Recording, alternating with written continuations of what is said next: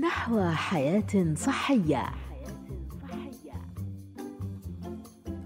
تعرفين شو أكثر شيء مشتاقت له في رمضان؟ شو؟ المشروبات الرمضانية مع ثلج على الفطور يبرد على القلب. ما شاء الله عليك يا آمنة.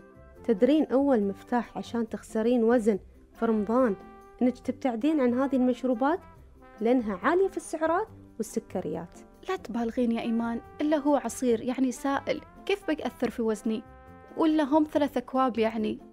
تدرين إن الكوب من هالمشروبات فيه سعرات حرارية عالية؟ وعلى حسب كم بتضيفين له سكر. وكل ما زدتي زادت السعرات. وإنتي كم كوب تشربين في اليوم؟ ثلاثة بس على الفطور. وبعد بتينا على السحور بتقولين في خاطري من هالعصير. إنزين شو الحل؟ يعني أبد ما أشرب هالعصاير؟ والله الأفضل إنك أنتي تستغنين عنهم. وتستبدلينهم بالماي أو المشروبات الطبيعية المحضرة في المنزل. وإذا تحسين إن ما تقدرين تقطعين مرة واحدة على الأقل قللي كمية السكر وكثري كمية الماي. وكذلك ممكن تستبدلينها مثل ما قلنا بالعصاير الطبيعية المحضرة في البيت بدون إضافات من السكر وبكميات معتدلة. عندك اللبن الطازج بعد. إنزين ممكن في البداية بقلل السكر وبعدين بحاول أقطعهم أو أبدلهم بالعصاير الطبيعية. بس بصراحة مو بس أنا اللي متعودة على هالمشروبات.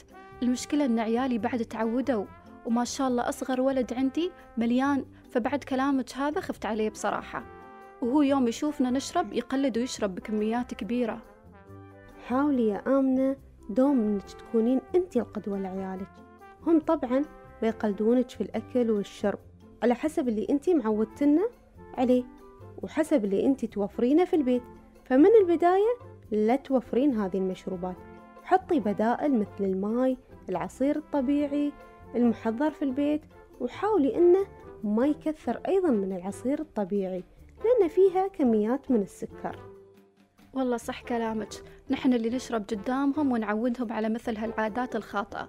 وبعدين يوم يتعودون نباهم يودرون هالعادات. المفروض نحن نكون قدوتهم مثل ما قلتي. طبعا.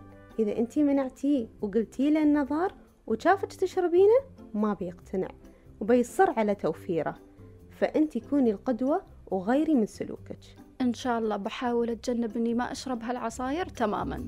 نحو حياة صحية مع تحيات إدارة التثقيف الصحي بالمجلس الأعلى لشؤون الأسرة بالشارقة.